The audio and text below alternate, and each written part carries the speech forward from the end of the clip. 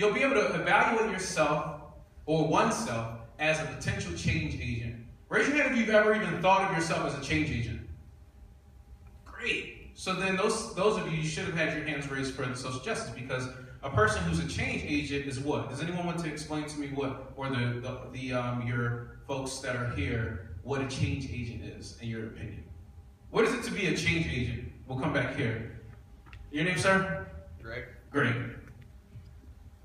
Greg, let's let us let us know what a change agent is in your opinion. What comes to my mind as a change agent uh, would just be someone who's an influencer, someone who can change minds, I guess. Yeah, that works. Give him a hand. And they're taking, and Greg, they're, they're taking an active part in the change. You know, they say, um, "Be the change you want to see in the world." That's an age-old saying, but it, can, it, it, couldn't be, um, it couldn't be a realer statement than that. Being the change. But the question is how to be the change, because everyone can think. And I know you know those folks that are like, "Hey, this should change," or they may be on Facebook or Twitter or wherever, and they might be like, "Hey, this should, this is wrong, and this should be this way, and society's like this." But I don't know if that percentage of individuals, let's say that's 100, when we talk about solutions, Gesundheit, when we talk about solutions, maybe only there's still like 15% of them there when we're talking about actually being a change agent. Because change is hard. How do we do it? Um, so the, the next thing is be able to collaborate with others to make decisions for social change.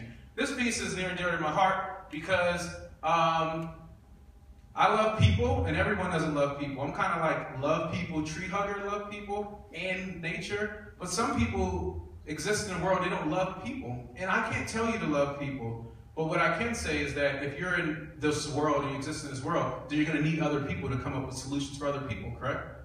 Because what's happened throughout time is solutions have been made in silos with people that people like, right? I like these people, let's talk. But reaching across to collaborate with individuals that they don't like, that hasn't happened. I don't know if you all could count when you're on a hand how many people you know that like to reach across to differences, uh, folks who have differences of opinion, very stark different opinions, and they can collaborate with them. It would be my, um, and this is kind of like my, I have a dream kind of moment. It would be, it would, it would be my dream. Would, I guess I'll say it like this. I'm looking forward to a day where people graduated, where people graduate from universities, um, such as the one that we have here at colleges, with the same amount of social intelligence